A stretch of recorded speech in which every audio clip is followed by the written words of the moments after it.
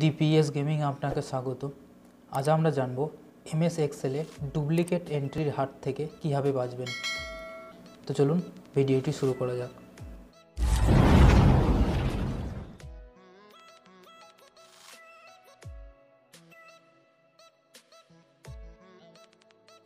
তো আমি Excel open করে নিয়েছি।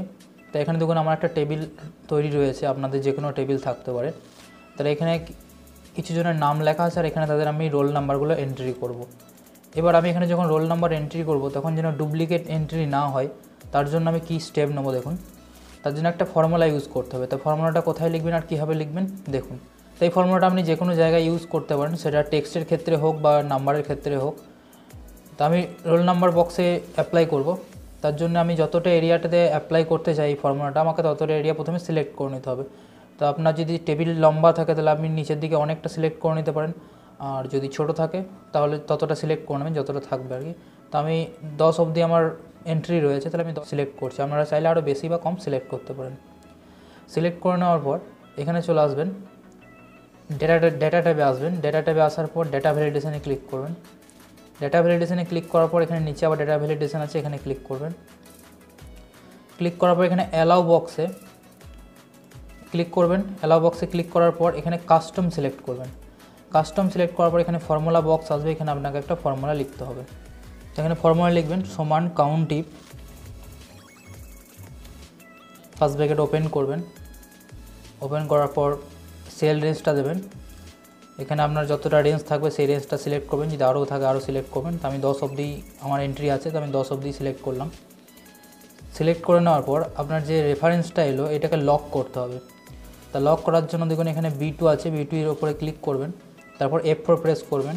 এটা লক হয়ে গেল, আবার বি টেন আছে, এটাতে ক্লিক করব। তারপর আবার এফ ফোর প্রেস করব, এটা লক হয়ে গেল। লক হওয়ার পর এখানে কমা দেবেন। কমা দেওয়ার পর ফার্স্ট সেলটা সিলেক্ট করবেন, যেখান থেকে আপনার এন্ট্রি স্টার্ট হবে। তা ফার্স্ট সেল হচ্ছে আমার এইটা। এটাতে ক্লিক করলাম। ক্লিক করার পর ব্যাকেট ক্লোজ করবেন। ক্লোজ করার পর সমান ওয়ান দেবেন। তারপর এটা ওকে করে দেবেন। ব্যাস তাহলে কিন্তু ফর্মুলা অ্যাপ্লাই হয়ে গেল। এবার আমি দেখুন এখানে ওয়ান লিখছি ওয়ান লেখার পর এন্টার দিই এখানে টু লিখছি, দেখুন কোনো অসুবিধা নেই। কিন্তু যদি আমি আবার টু লিখি, তারপর এন্টার দিই, দেখুন এখানে ইরোর মেসেজ চলে আসছে। তাহলে আমাকে কোনো ইনভ্যালিড এন্ট্রি কিন্তু এখানে হতে দেবে না। মানে ডাবল এন্ট্রি যেগুলো, সেগুলো কিন্তু আর এখানে অ্যাপ্লাই হবে না, যদি আমরা এই ফর্মুলাটা ইউজ করে রাখি। আমি নতুন কিছু এন্ট্রি রিট্রাই করে আমি এখানে নতুন কিছু এন্ট্রি করতে পারি। তাহলে এইভাবে আমি আপনি ফর্মুলা ইউজ করতে পারেন। শুধু একটা সংখ্যার ওপরে নয়, এখানে অ্যালফাবেটের ওপরেও হবে। ধরুন এখানে আমি এ বি সি লিখেছি এ বি সি তারপর যদি আমি এ বি ডি লিখি, কোনো অসুবিধা নেই। কিন্তু যদি আমি আবার এ বি সি লিখি, তাহলে কিন্তু আমাকে ইনভ্যালিড দেখাবে। তো এইভাবে আপনি ডুপ্লিকেট এন্ট্রির হাত থেকে বাঁচতে পারেন এই ছোট্ট একটা ফর্মুলা ইউজ করে। তো এটা গেল একটা স্টেপ যে ডুপ্লিকেট এন্ট্রির হাত থেকে কীভাবে বাঁচবেন? এবার আমরা নেক্সট দেখব যে ডুপ্লিকেট এন্ট্রি যদি আমার আগে থেকে হয়ে যায় ডুপ্লিকেট এন্ট্রি যদি আগে থেকে হয়ে থাকে, তাহলে সেখান থেকে আমি কি করে দেখব যে হ্যাঁ এটা আমার ডুপ্লিকেট এন্ট্রি হয়ে আছে। তো তার জন্য আমি আর একটা টেবিল তৈরি করে নিয়েছি। এখানে আমার এক- একটা টেবিল এন্ট্রি আছে, যেখানে কিছু ডুপ্লিকেট এন্ট্রি রয়েছে। তো সেটা কীভাবে ফাইন্ড করব? তো সেটা ফাইন্ড করার জন্য আপনি যেখান থেকে ডুপ্লিকেট এন্ট্রি ফাইন্ড করতে চান, সেই জায়গাটা সিলেক্ট করুন। তাহলে আমার রোল নাম্বারের মধ্যে ডুপ্লিকেট এন্ট্রি আছে, তার জন্য আমি রোল নাম্বারটা সিলেক্ট করে নিলাম রোল নাম্বারের এরিয়াটা সিলেক্ট করে নেওয়ার পর কী করবেন? এখানে হোম ট্যাবে আসবেন। হোম ট্যাবে আসার পর এখানে কন্ডিশনাল ফরম্যাটিংয়ে যাবেন। কন্ডিশনাল ফরম্যাটিংয়ে যাওয়ার পর এখানে হাইলাইট সেলস রুলস এখানে ক্লিক করবেন। ক্লিক করার এখানে দেখুন ডুপ্লিকেট ভ্যালুস লেখা আছে। এখানে ক্লিক করবেন। ক্লিক করলেই দেখুন ডুপ্লিকেট ভ্যালু এখানে শো করছে হাইলাইট করে যে এইটা আর এটা হচ্ছে ডুপ্লিকেট তো এটা হচ্ছে ডুপ্লিকেট তো দেখুন এই নাম্বারটা এই নাম্বারটা সেম আছে। যদি আরও ডুপ্লিকেট থাকে তাহলে সবই কিন্তু দেখিয়ে দেবে। আমি আরও ডুপ্লিকেট করে দেখাই আপনাদের।